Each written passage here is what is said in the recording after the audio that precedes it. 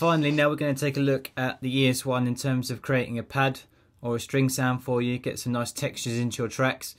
So what I've done here is just created a MIDI part, just played in on the keyboard, uh, a real simple chord structure. Uh, used the sort of fifths, ninths and sevenths of a chord to make a nice Chicago house sound.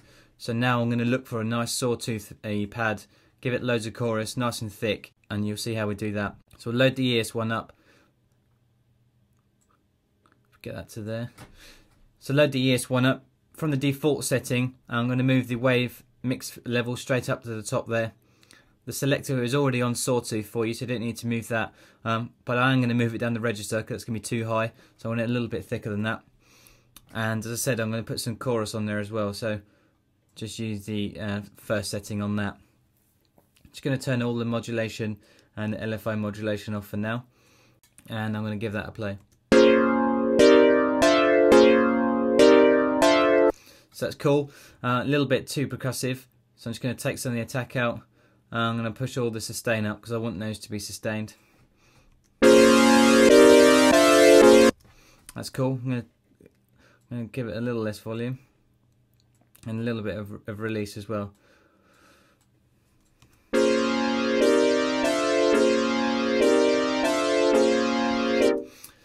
So it's starting to resemble that old uh, Kerri Chandler Derrick Carter sort of Chicago house. I'm just going to pull the resonance out of that for now and push push the filter up a little bit more. But what I am going to do is just move the yeah the key modulation down a little bit so it's not so so harsh.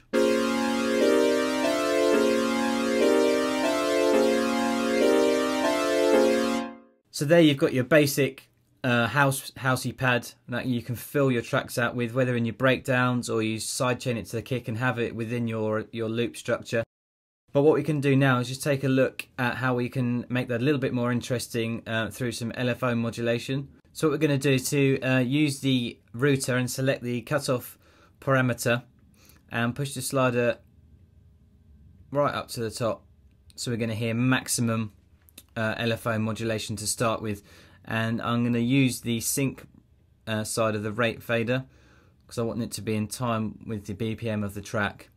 I want the modulation to be occurring over two bars. So if you now give that a play.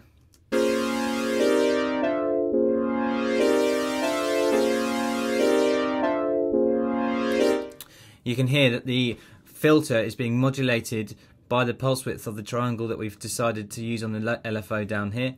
Um, if you want that to have less effect, then just pull the intensity fader down. And then if you want the modulation to only sort of affect your sound ever so slightly, you can pull the bottom of the two faders down a touch.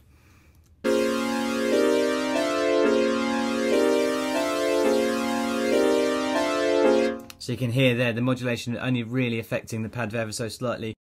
If you want to change the um, LFO sequence in the way that it's affecting the cutoff frequency, then obviously just uh, choose another wave. You can have an ascending or descending uh, sawtooth wave. So let's have uh, an ascending one, and we'll put the intensity right back up to the top there so you can hear the difference.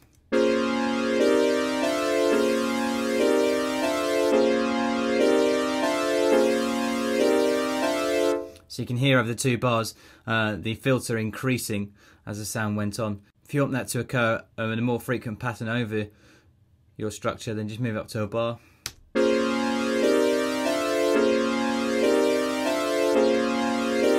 So you've seen there, we've been able to use the LFO um, and able to modulate the frequency to add an interesting characteristic to our pad, which you guys can maybe apply to your breakdowns, uh, give them a bit more depth, give a bit more space, and make them sound less generic. So that's pretty much the ES1. Uh, why don't you guys now go and have a real play around with everything that you've gone through, create some bass sounds, have a go with some drums, and then some pads as well and, and get your head around the LFO side of things and, and what you can actually modulate and, and how you can use those in your tracks. And then next we'll look at Logic's ES2.